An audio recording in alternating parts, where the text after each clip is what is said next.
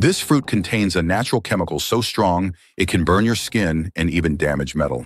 Meet the cashew fruit vivid, colorful, and found in tropical regions.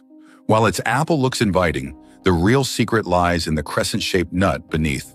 Inside the tough shell is an oily liquid called anacardic acid.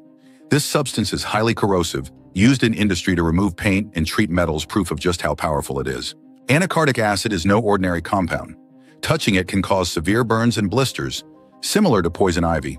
When it comes into contact with metal, the reaction is immediate sizzling, smoking, and rapid corrosion as the acid breaks down protective layers on the surface. Its molecular structure targets metal atoms, leaving behind visible damage. For cashew harvesters, protection is essential. Workers wear heavy gloves and gear to avoid painful chemical burns. In some cultures, traditional tribes discovered the oil's strength, using it as a natural paint remover, watching as color simply dissolved off wood or bark. So next time you see a cashew, remember, the seed hides one of nature's harshest chemicals. Tiny Facts Studiox.